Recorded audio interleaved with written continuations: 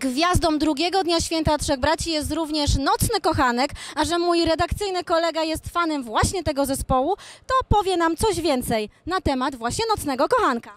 Nocny Kochanek to grupa heavy metalowa z jajem.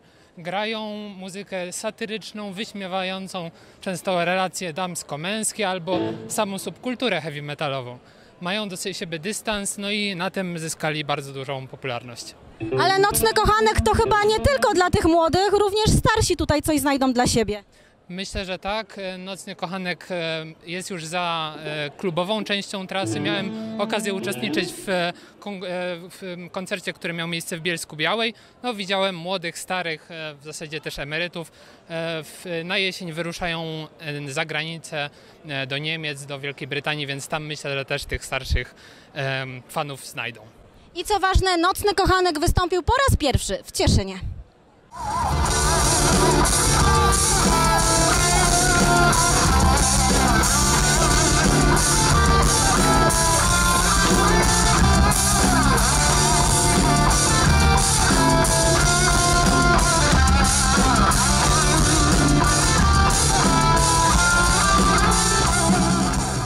Moim i Państwa gościem jest ojciec Arkadiusz z Nocnego Kochanka, gwiazdy drugiego dnia Święta Trzech Braci.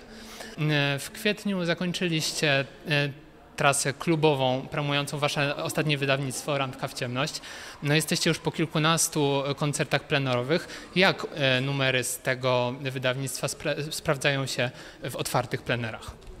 E, kurczę, tak naprawdę byliśmy w lekkim strachu, jak to będzie. Zresztą przed każdą, e, e, przed każdą, właściwie po każdej premierze płyty jesteśmy lekko zdenerwowani e, i gdzieś błądzimy myślami, który utwór będzie bardziej hiciarski podczas występów, który mniej. Jeśli chodzi o o, o utwory, które się sprawdzają na plenerach.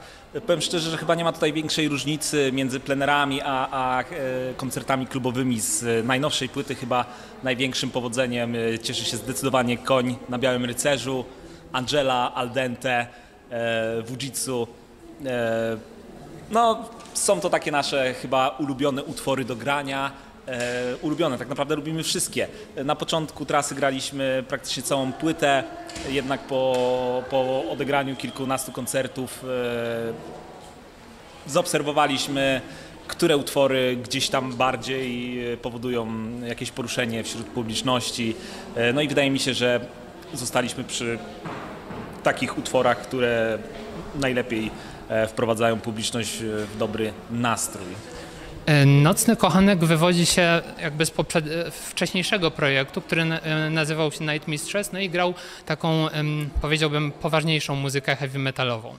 W związku z tym pytaniem, czy dzisiaj z perspektywy tego, że jesteście bardziej rozpoznawalni jako Nocny Kochanek, czujesz może, że mm, jakaś zależność pomiędzy Night Mistress a Nocnym Kochankiem występuje? Jeśli tak, to jaka? Wiesz co, z Night Mistress i z Nocnym Kochankiem e, jest to taki temat dosyć e, delikatny, bo tak naprawdę ja osobiście muzycznie e, nie odczuwam większej różnicy między Night Mistress a Nocnym Kochankiem.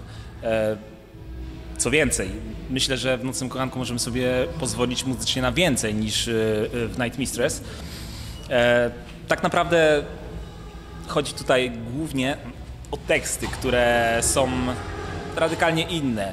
E, W Night Mistress, które były po raz anglojęzyczne, po dwa traktowały o tematach, nawet nie wiem czy poważniejsze, to jest, to jest dobre określenie, ponieważ e, tak naprawdę niektóre liryki w języku angielskim brzmią już jakby na, na pozycji poważniejszej z tego względu, że są po angielsku. Tak naprawdę czasami nawet nie wiemy o czym one są, jak się dopóki się nie, nie wgłębimy, nie przetłumaczymy. E, Nocny Kochanek wywodzi się z Night Mistress. E, kontynuujemy myśl muzyczną. Zmieniliśmy, zmieniliśmy formułę zespołu, jeśli chodzi o, o wizerunek liryczny przede wszystkim. E, tak więc, wiesz, zależność między Night Mistress i Nocnym Kochankiem jest bardzo silna, bo wiesz, bez Night Mistress nie byłoby Nocnego Kochanka. Jest to niewątpliwościowe, bo od tego zaczynaliśmy. Jakby to płynnie Night Mistress przeszło w Nocnego Kochanka. E, Jeśli chodzi o przyszłość Night Mistress, wydaje mi się, że jest to rozdział zamknięty już e, w naszej karierze.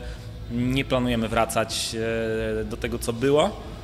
Mm, Jednak, no tak jak mówię, cały czas szacunek do Night Mistress mamy bardzo, bardzo wielki, ponieważ jest to część naszej historii. E, Właściwie każdy fan Nocnego Kochanka powinien się zaznajomić z Night Mistress, ponieważ bez tego zespołu nie byłoby nas teraz.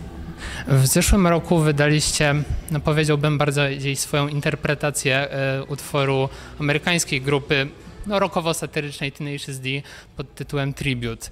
Mm, Mam pytanie, bo wielu fanów mm, bardzo prosiło, żeby przetłumaczyć e, polski tekst na angielski, mm, żeby dotrzeć też do fanów e, zagranicznych, o których za moment.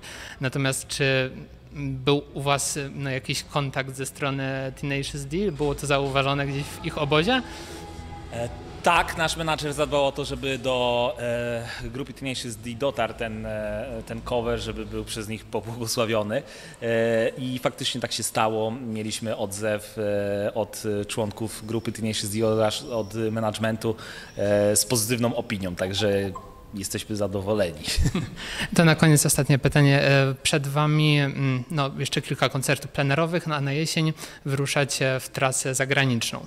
E, Czy mm, są to, będą to koncerty bardziej dla środowisk polonijnych, czy jednak Nocny Kochanek ma e, słuchaczy no, poza granicami naszego kraju wśród zagranicznej publiczności?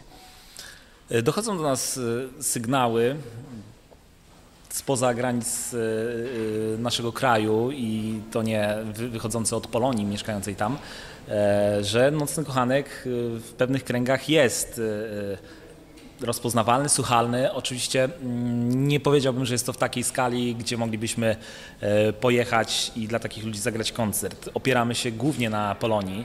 E, Nie ukrywamy tego, jest to naturalną koleją rzeczy.